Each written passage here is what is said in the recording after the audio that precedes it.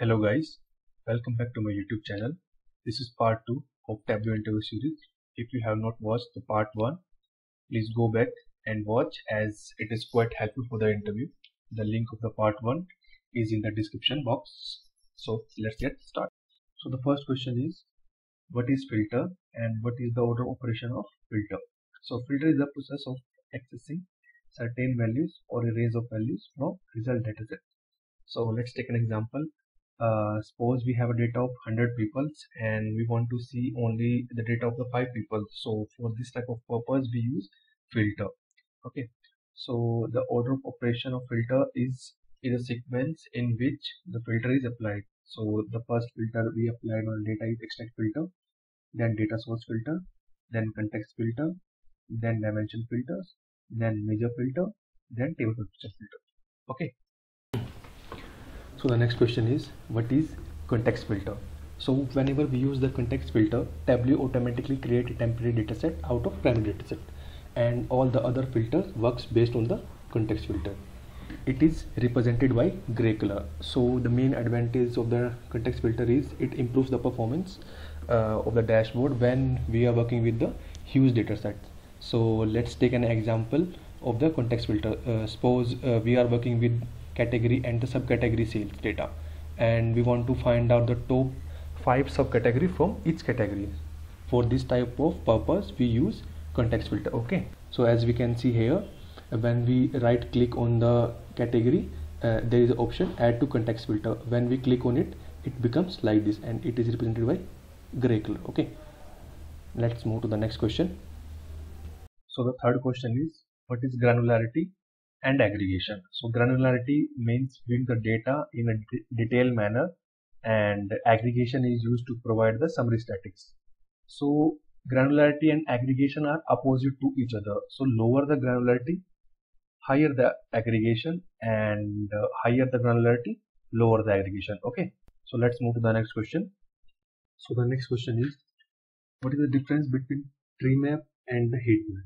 So tree map is ideal for displaying large amount of data, uh, large, or you can say large amount of hierarchy structure data.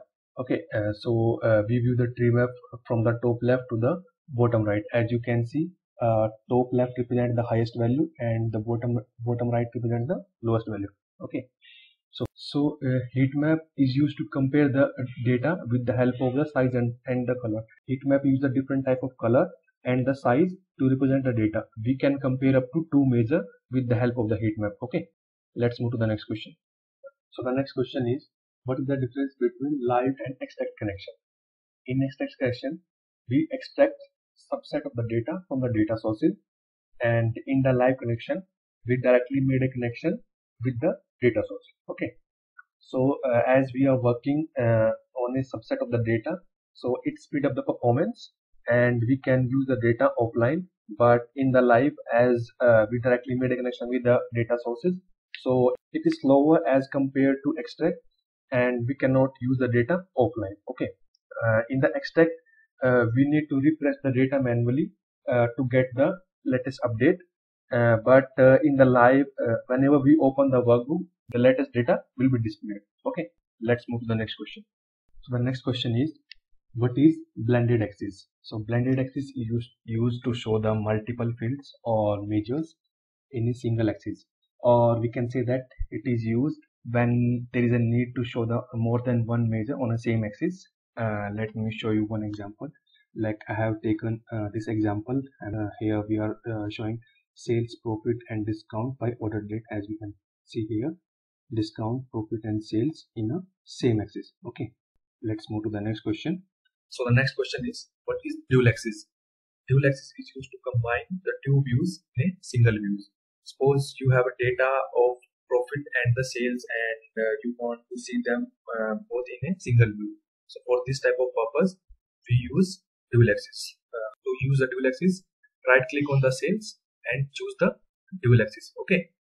And don't forget to synchronize the axis, otherwise you will not get the accurate data uh, to synchronize the axis right click on the axis and choose the synchronize axis okay? That's all guys. Thank you so much. If you like the video please do like comment and subscribe. And please share it with your friends. And stay tuned for more interesting videos. Thank you.